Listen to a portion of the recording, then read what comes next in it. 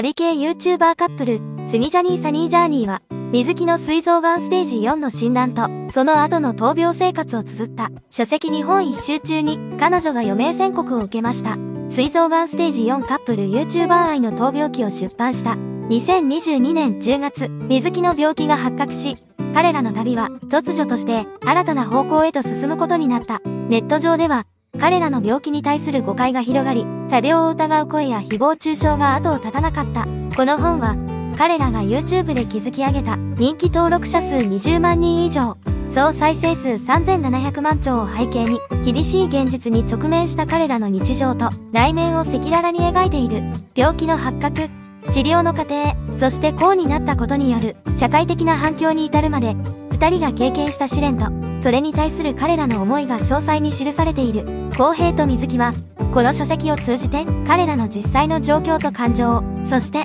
闘病生活の中で見つけた光を伝えたいと願っている。公平は動画だけでは伝わらなかった。私たちの全てをこの本に込めました。誹謗中傷や誤解に満ちたコメントに対しても、この書籍が私たちの真実を伝える一つの手段になればと思いますと語る。水木も病気と診断されたからといって、常に悲観的であるわけではない。明るい瞬間も多くあり、そうしたリアルな感情を共有したいと述べている。出版にあたり、彼らはファンや支援者から温かい反響を受けている。しかし、一方で、Amazon などのレビューでは、未だに心ないコメントが見られるという。それでも彼らは前向きで、読んでない人による誹謗中傷よりも、実際に本を読んで理解してくれる人たちの反応を楽しみにしています。動画を見たことがない人にも、この本を通して私たちのストーリーを知ってもらえることを期待していますと語った。この書籍は、闘病を通じて深まった二人の絆、そしてそれを取り巻く社会的な課題にも光を当てている。作病疑惑や誹謗中傷を乗り越え、